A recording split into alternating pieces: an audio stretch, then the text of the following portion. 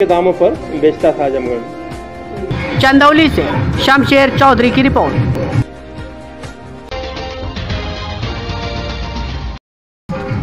पीलीभीत में महोफ रेंज से सटे गाँव शहादतगंज पिपरई में टाइगर रिज़र्व से निकलकर तेंदुआ आ गया है।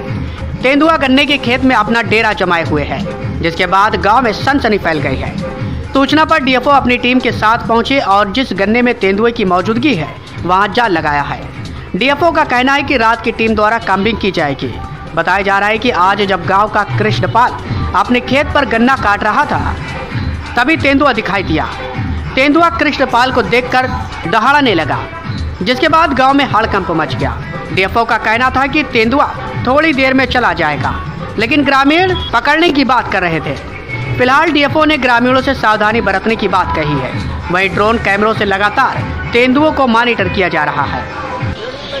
देखिए जंगल का सीमावर्ती एक गाँव है। टाइगर ने एक लेपर्ड की सूचना थी यहाँ पर।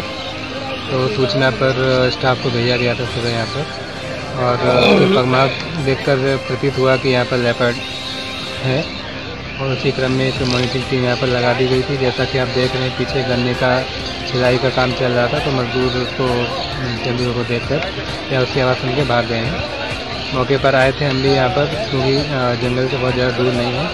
और उसको खाबर से गिरवा दिया गया है गन्ने को और लोगों से भी अपील कर रहे हैं कि यदि रात में अंधेरे में इस तरफ़ ना आए और क्योंकि जंगल से मूवमेंट बना रहता है जानवरों का, इस प्रकार से आते और जाते रहते हैं। थोड़ा सावधानी बरतने की सकता है। पीलीभीत से सिराज मलिक की रिपोर्ट।